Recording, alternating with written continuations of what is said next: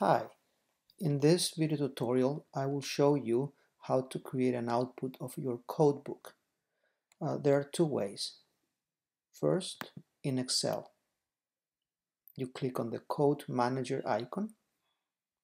Then you, well, you have options here. You have an option of uh, creating an output for all codes of the project or by specific uh, uh, uh, code groups. So let's do this for all codes of the project. You click on this output icon. That will take you to Excel. And now you have this list of codes with associated information in an Excel spreadsheet. So you have the color of the code, the name of it, the groundedness, which means the number of quotations linked to it, the density, which means the number of codes linked to each one of these codes, the number of groups uh, in which or to which the code belongs, the comment, which is the operational definition of the code, the name of the person who created it, dates, and the person who modified that. So this is a, a, a simple spreadsheet.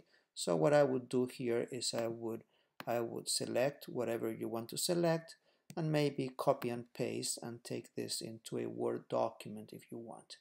So that's what I would do. And now this is pasted in a Word document.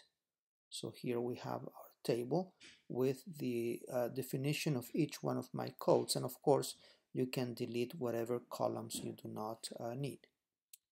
The other option is to go to Code, Output, Codebook, and this is an output that will be uh, produced that can be copied and pasted into a Word document. So you go to uh, select all, copy, and then you take it to a Word document.